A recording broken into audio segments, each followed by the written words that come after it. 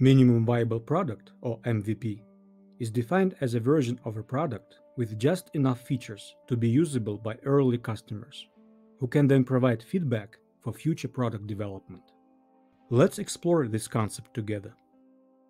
We'll look at a couple of illustrations to better understand principles behind MVP. Imagine that you are an artist who is commissioned to paint a portrait. You made a sketch, it was quick, and you even did not spend any paint yet. Your client took a look, made her comments, and with this new knowledge about your customer's preferences, you proceed to the next iteration. You added more detail, showed the picture to the client again, got her feedback, and moved on to the final iteration. But if your customer had wanted something else, you would have learned about it very early in the process. And your final output would look very different. Something like this.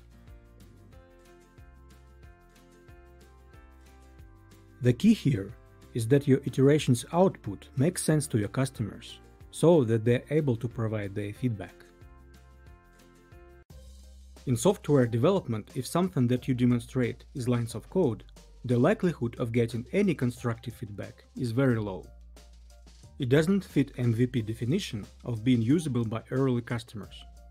On the other hand, if you demonstrate some fields and buttons and allow users to play with them, that's when you get early feedback that will help you to adjust your further development activities.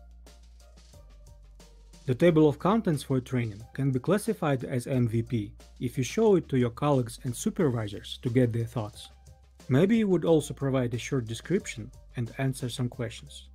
But the key here is that you can get quick and constructive comments without investing too much time and money.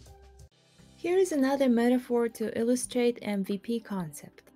Let's say you're developing a sitting solution for your customers. First, you design a mat, let the users try it, and ask for their feedback. They may actually like it, and you do not need to do anything else, or you learn and keep developing your product. You give them a chair. They try it, tell you what they think, and once again, it may be exactly what they need. Otherwise, you gain some more knowledge from your customer and offer them a recliner. As you noticed, we moved from the most affordable to more pricey options. It would not be a good business strategy to charge premium for solutions that could cost very little. And don't forget that we were looking for a sit-in solution, not for a type of an armchair. And the very first iteration might have been the right thing. During the height of the space race in the 1960s, NASA scientists realized that pens could not function in space. They needed to figure out another way for the astronauts to write things down. They spent years and millions of dollars to develop a pen that could put ink to paper without gravity but their crafty Soviet counterparts simply handed their cosmonauts pencils. As it turns out, the story is not entirely true, but it provides a great example of focusing on finding the solution to a problem rather than being fixed on the development of any particular product. This principle is utilized in developing alternatives for capital projects.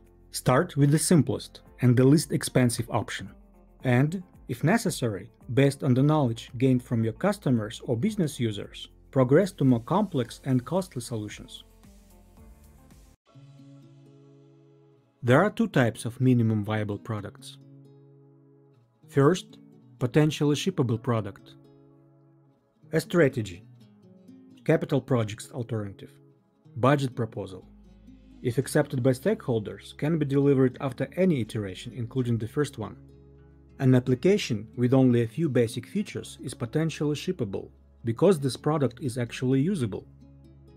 In software development, releasing usable, potentially shippable features every sprint is considered the norm. The word potential means that though the product can be released, it doesn't have to happen. Final release is a business decision. New functionalities may be allowed to accumulate via multiple sprints before the product is finally shipped. Second type of MVP, not potentially shippable product. Sketches, table of content, statistical analysis, may simply be means to an end, not necessarily usable by themselves. but there is no clear-cut distinction between these two categories. It's all a matter of perspective and specific context. But let's make it simple. Regardless of your context and type of output, you need to answer the question.